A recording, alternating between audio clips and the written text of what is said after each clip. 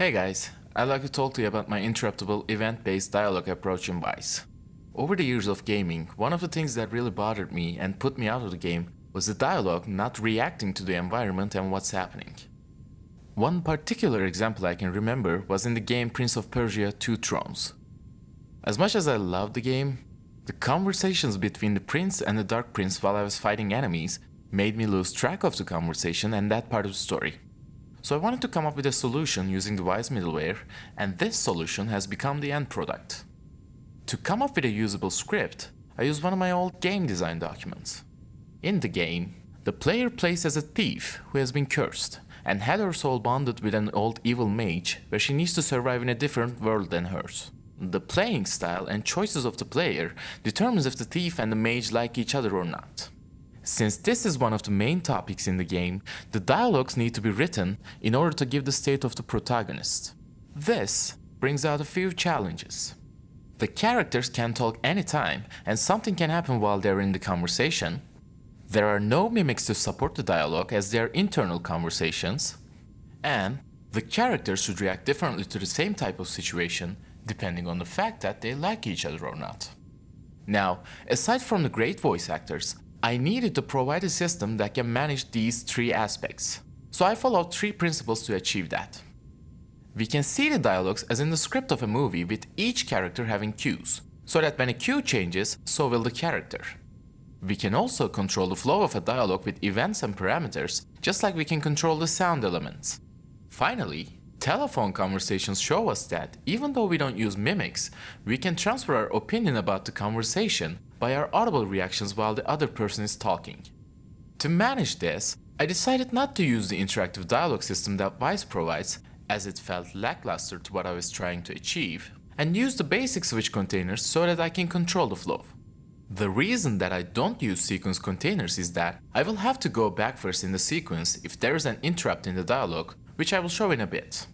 So I set up a switch called dialog cue to keep track of which cue we are in currently. I also want to keep track of who is talking at the time. For that, I made another switch called person talking which we'll see its benefits in a bit. I also set up a game parameter called corruption level, which basically defines if the thief and the mage like each other or not for our purposes. The higher the corruption level, the more aligned they start to think. Using this game parameter, I decided to have three flows for each dialogue. Low corruption, where the thief and the mage don't like each other. Medium corruption, where the thief starts to think more about her benefits rather than against the mage. And high corruption, where the thief and the mage start to think alike and almost become one person.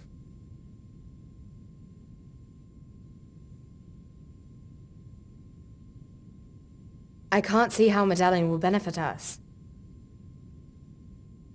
How will the medallion benefit us?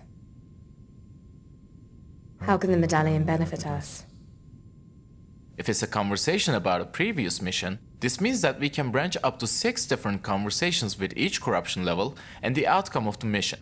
One thing to include, for the high corruption dialogues, I also set up a real-time parameter control so that I can add the mage's voice onto the thief's voice to have the effect of them becoming one whenever thief talks. We won't help the people. We won't help the people. Now that I could branch out to conversations depending on the character's relationship and the situations they're in, I needed to tackle the interrupt functionality. To achieve this, I recorded and branched out different interrupts for each character, depending if they like each other or not.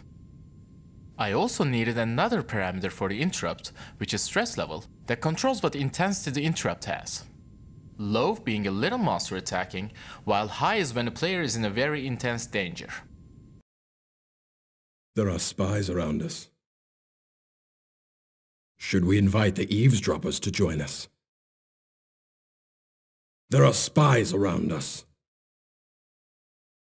I also needed to keep track of who's talking at the time, so that I can have the other person interrupt the conversation when it's needed. We'll also have to return to the conversation just as we interrupted. Again, I branched them out to 3 corruption levels for each character without taking the stress level into account, as returning will be done when the intensity returns to 0.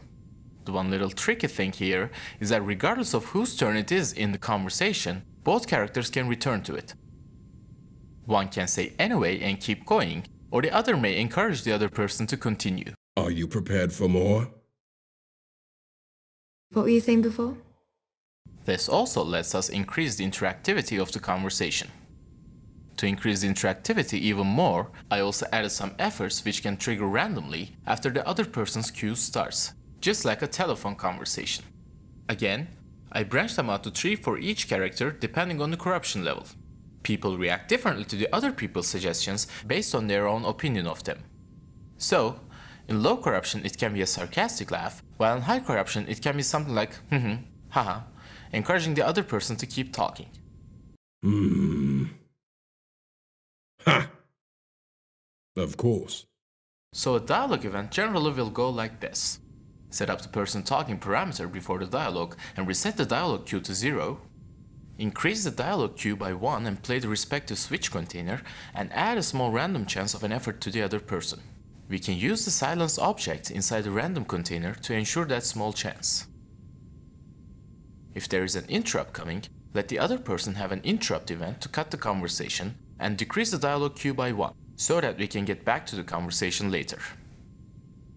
When the intensity gets back to 0, return to the conversation by playing a return event. Then, use the conversation event which adds 1 to the dialogue cue and plays the respective element, and keep doing all the steps until the conversation ends. To show this event structure, I used the Wwise Post event function to create the whole dialogue. This function gives me the ability to create big and timed events to prototype, or used as a dynamic mixing tool if I need. These event structures let me test the outcome without any ties into the game.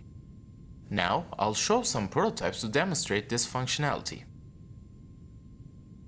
We need it. I can't see how medallion will benefit us. I'm not going to look for a medallion for no reason. It can help us become more powerful. You don't even know where it is, do you? Of course I do. Then tell me. It's in the throne room. How can a medallion help us become more powerful? It's not just a medallion.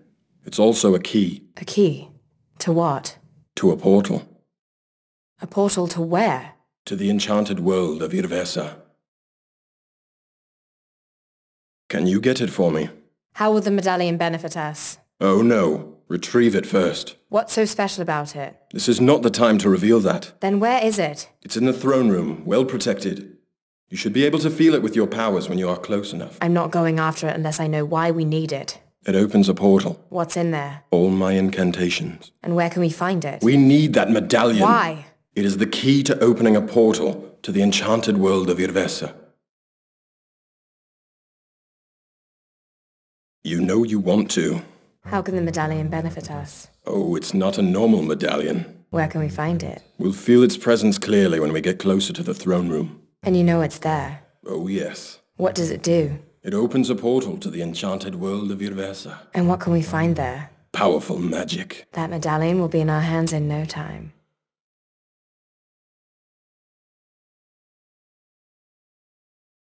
Don't you think being merely a thief is keeping you down? I have skills that you don't, and I'm happy using them. You're scared, aren't you? I've lived on my own long enough to know how to survive without hmm, power. But look around. We're not on your world anymore. Just because we're sharing a body. We're continuing this later. Anyway, just because we're sharing a body doesn't mean you're in charge. This human body is weak. Then leave it and return to the abyss. Thank you for watching my interruptible dialogue approach in Wwise.